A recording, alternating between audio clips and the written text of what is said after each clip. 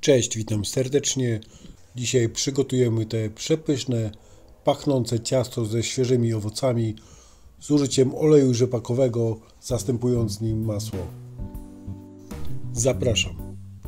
Do przygotowania ciasta potrzebujemy jedną szklankę cukru, półtorej łyżeczki proszku do pieczenia i sody, cukier waniliowy, świeże borówki amerykańskie, maliny, mąka i jajka oraz olej rzepakowy, który ma neutralny aromat i smak i doskonale zastąpi nam masło. Na początek miksujemy jajka.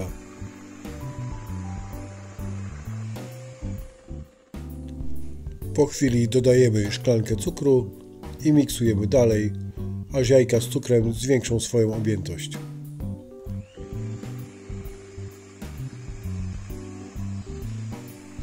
Aby ciasto było miękkie i puszyste, dodamy 200 ml oleju rzepakowego, który idealnie pasuje do ciast, dzięki temu, że jest neutralny w swoim smaku i aromacie.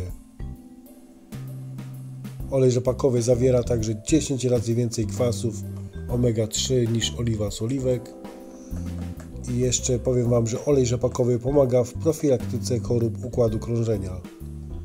Jeżeli ktoś twierdzi, że jest bezwartościowy, to wręcz przeciwnie, olej rzepakowy zawiera cenne kwasy tłuszczowe, których potrzebuje nasz organizm.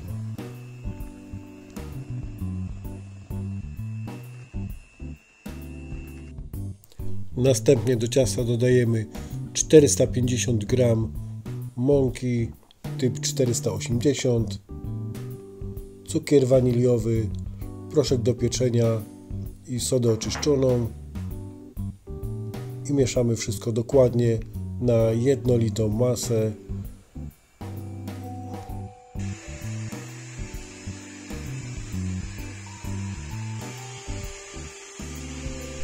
Tak pięknie przygotowane ciasto przełożymy na dużą foremkę, którą wykładam wilgotnym papierem do pieczenia. Ciasto powinno być lejące, dobrze wyrobione, bez żadnych grudek. I teraz na górę układamy 400 g borówek amerykańskich i 200-250 g świeżych malin.